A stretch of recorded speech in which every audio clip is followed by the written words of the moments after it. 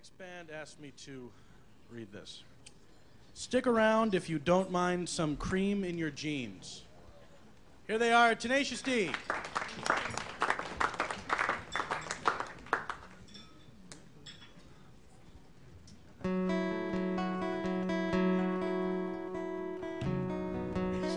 Um, if I was going to say just one thing to y'all tonight, I'd say set the artist free.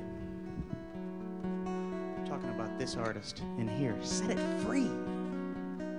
I'm saying quit your day job.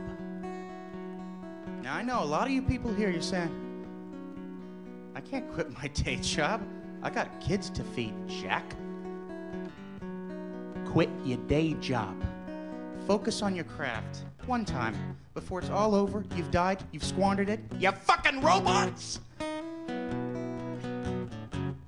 After a couple of years of you focusing earnestly on your craft, KG and I will swoop in, we will check out your progress, and we will encourage you to continue! Or we will say stop.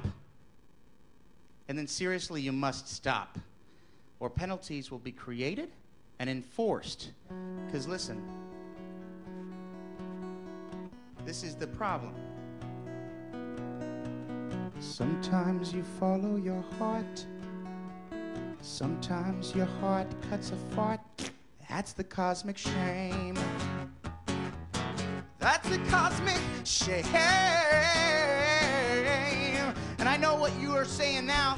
What makes you guys so fucking good? I don't fucking know. And I don't like it. I stay up going, ha ha ha!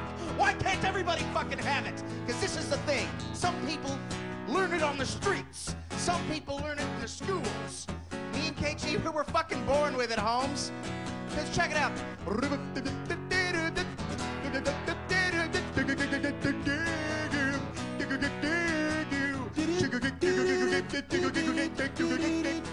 That shit came off the top of my fucking head, y'all. Oh, God. Why? Why? Why? Why? Why? Why? It's a cosmic shame. Thank you. Listen, we're going to be over at uh, Captain Ed's Records tomorrow for a T-shirt signing, Tenacious D style. Thank you. Thank you. Good night.